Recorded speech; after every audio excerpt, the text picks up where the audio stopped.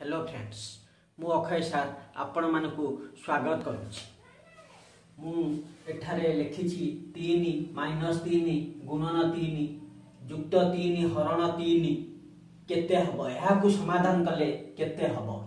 କିନ୍ତୁ ଏହାକୁ ସମାଧାନ କରିବା ପୂର୍ବରୁ ଆମେ ଜାଣିବା ଯେ ପୂର୍ବରୁ ଆମେ ଜାଣିଛେ ଯେ ପଢ଼ିଛେ ବର ହଗୁ ମିଫେ ବର ହଗୁ ମିଫେ।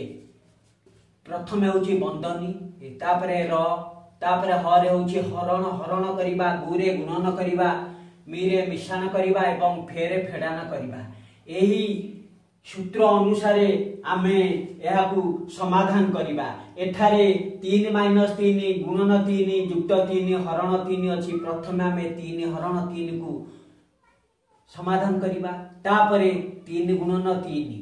ତେଣୁ ଏଠାରେ ହବ ତିନି ମାଇନସ୍ ତିନି ଗୁଣନ ତିନି ଯୁକ୍ତ ତିନି ହରଣ ତିନି ହେଲେ ତିନି ମାଇନସ୍ ତିନି ଗୁଣନ ତିନି ଲେଖିଦେବା ତିନି ଗୁଣନ ତିନି ଯୁକ୍ତ ତିନି ହରଣ ତିନି ହବ ଏକ ତାପରେ ହବ ତିନି ମାଇନସ୍ ତିନି ଗୁଣନ ତିନି ତିନି ଗୁଣନ ତିନି ନଅ ଯୁକ୍ତ ଏକ ତିନି ଯୁକ୍ତ ଏକ ଚାରି ଚାରି ମାଇନସ୍ ନଅ ସମାନେ ମାଇନସ୍ ପାଞ୍ଚ ହେବ ତେଣୁ ଏଠାରେ ଯୋଉ ମୁଁ ଅପସନ୍ ସବୁ ଦେଇଛି array zero one minus three minus five ତେଣୁ ଏଠାରେ ମାଇନସ୍ ପାଞ୍ଚ ହେବ।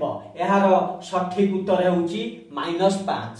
ଏହିପରି ଭାବରେ ଆମେ ଏହାର ସମାଧାନ କରିପାରିବା। ବରହଗୁ ମିଫେ ସୂତ୍ରର ପ୍ରୟୋଗ କରିକି।